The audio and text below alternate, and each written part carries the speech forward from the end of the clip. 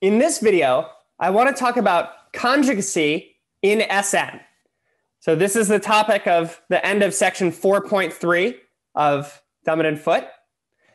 And I want to start with this proposition, which is proposition 10, which says if you have two elements of Sn, sigma and tau, then suppose sigma has cycle decomposition. First cycle is A1, A2 up through AK1. Next cycle is B1, B2 up to BK2. Then we want to understand the cycle decomposition of the conjugate of sigma by tau. That is the permutation tau sigma tau inverse. And the result is that the cycle decomposition of tau sigma tau inverse is the first cycle is now tau of A1, then tau of A2, up to tau of AK1. Then we have tau of B1 starting the next cycle, tau of B2 up to tau applied to BK2. So what we're saying is we have all of the same cycle lengths, but everywhere you had like A1 up through AK1, now you have tau applied to those numbers in the cycle.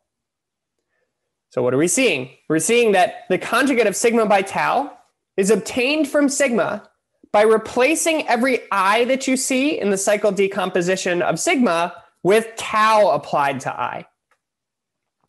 The proof is not difficult. The idea is going to be to see what happens to two consecutive integers that are in the cycle decomposition of sigma. So if sigma of i is equal to j, that means that in the cycle decomposition of sigma, we have an i followed by a j. Well, what happens when you take the permutation tau sigma tau inverse and apply it to tau of i? So this is sort of the clever idea. You might think, oh, I want to take this new permutation and apply it to i, but it's more valuable to see what happens when you apply it to tau of i. So tau sigma tau inverse applied to tau of i. Well, permutation multiplication is associative. It's just composition of permutations. So you can move the parentheses and see that what you're taking is tau sigma of tau inverse tau, which is the identity applied to i. So this just is tau of sigma of i. And all we know about sigma of i is that it's j. So this is tau of j.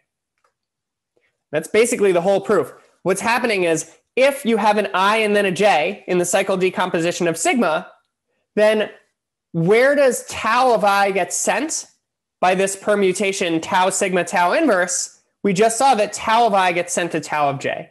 So if i follows j in the cycle decomposition of sigma, tau of i, tau of j, sorry, if we have i then j in the cycle decomposition of sigma, then we have tau of i then tau of j in the cycle decomposition of tau sigma tau inverse.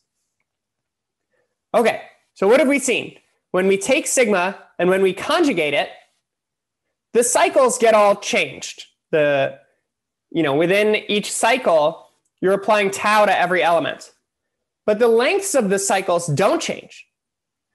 So the lengths of the cycles in the decomposition of a permutation into a product of disjoint cycles is a really important thing attached to a permutation in SN. Let me give a definition. If sigma in Sn is the product of disjoint cycles with lengths n1, n2 up through nr, where we want to include cycles of length 1. So like the sum of these might be 1s. We include the fixed points as cycles of length 1. And you write these numbers in non-decreasing order. So n1 is less than or equal to n2 up through nr.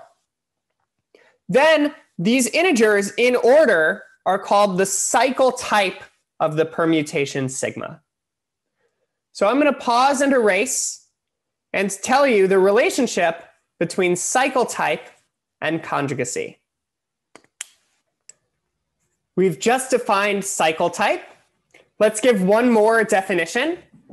If n is a positive integer in z plus, a partition of n is a non-decreasing sequence of positive integers whose sum is n.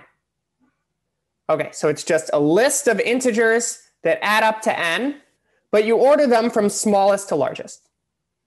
So what have we seen? we've seen that the cycle type of a permutation is uh, a cycle type of a permutation in Sn is a partition of n. Why? Because every integer is in some cycle. So when you write your permutation as a product of disjoint cycles, if you add up the cycle lengths, you have to get n. And cycle type, by convention, we write the smallest cycles first, followed by the larger ones at the end. Okay, so just to be clear, because this is potentially confusing about fixed points where we generally don't write the cycles, what is the cycle type of the permutation 1, 2 times 3, 4 as an element of S5? Well, it's an element in S5, so it's a permutation on five things. We have one, two, three, and four. Five isn't written anywhere, which means five is a fixed point of this permutation. So just as a convention, you don't usually write cycles of length one when you're writing a permutation as a product of disjoint cycles. So what is the cycle type of this permutation? Five is a fixed point. It's in a cycle of size one. So we include that in the cycle type. And then there are these two cycles of length two. So the cycle type is 1, 2, 2. 1 plus 2 plus 2 is 5. So this is a partition of 5. And what did we see in the first uh, result that we discussed in this video is that sigma and the conjugate of sigma by the permutation tau have the same cycle type. So inside of each cycle, you go from here to here by applying tau to each element but the cycles all have the same length. So they have the same cycle type. Okay, so we've seen that conjugate partitions have the same cycle type. And the next thing we're going to prove is that the converse is true also, that two elements in Sn are conjugate in Sn if and only if they have the same cycle type. Okay, so first I want to say a few things. One, the statement that we just saw that conjugate partitions have the same cycle type, that is the forward direction of this statement. The two elements in Sn that are conjugate in Sn implies same cycle type. So we just need to prove the converse. But even before that, let me just say a consequence of this is that conjugacy classes in Sn are determined by cycle type. And every cycle type is a partition of n. So how many conjugacy classes are there in Sn? It's the number of partitions of n. So if you've never thought about this function before that counts the number of partitions of n, uh, there's a ton of really interesting stuff out there. Studying the behavior of this function is a difficult number theory problem. So this is like a number theoretic thing that shows up naturally in studying conjugacy classes in uh, one of the most basic core examples of groups that you study in a group theory course. So I find that very interesting. And if you want to talk more about the function that counts the number of partitions of n, that's something I would love to do in office hours. Okay, so let's prove this statement. What we have to prove is that if two partitions in Sn have the same cycle type, then they are conjugates. So we're going to suppose that sigma 1 and sigma 2 have the same cycle type.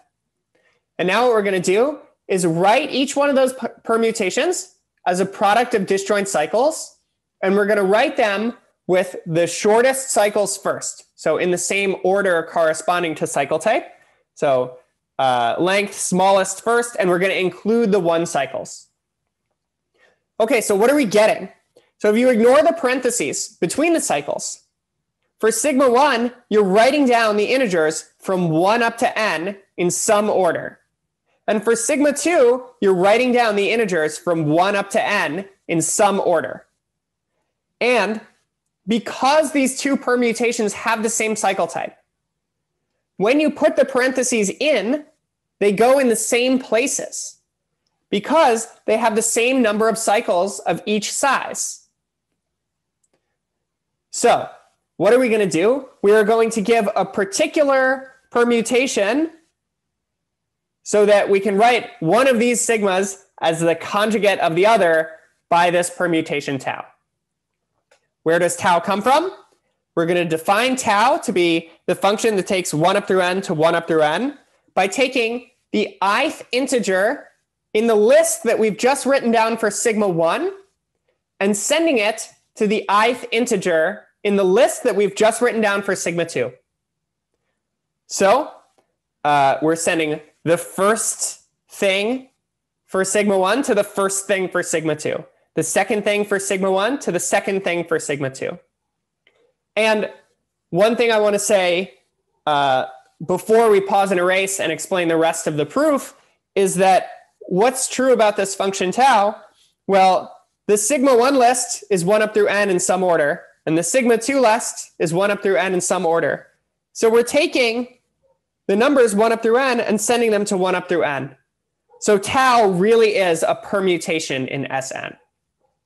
So now I'm going to pause and erase, and I'll tell you how these three permutations, tau, sigma 1, and sigma 2, are related to each other. We've just defined this permutation from 1 up to n to 1 up to n, tau, that is given by uh, sigma 1 and sigma 2. And how are these three permutations related? Tau sigma 1, tau inverse is sigma 2. So that's the end of the proof once we've justified this claim, because now we started with these two permutations having the same cycle type, and we have shown that they are conjugate by actually writing down a permutation tau such that sigma 2 is the conjugate of sigma 1 by tau. Okay, so why is this true? Well, from the uh, proof of the previous um, statement from the beginning of this video, if ij occur as an ordered pair within a cycle of sigma 1, then tau i tau j are the corresponding ordered pair within the cycle, within a cycle of tau sigma 1, tau inverse. But we defined tau so that this will make the cycles of uh, tau sigma 1, tau inverse exactly match up with the cycles of sigma 2. So that's the end of the proof. I will say that this is exactly the kind of argument that is much easier to understand if you work through an example on your own in like S5 or something like that. And on page 176 of Dummit and Foote, there are some uh, examples for you to stare at, and then you can come up with your own examples too.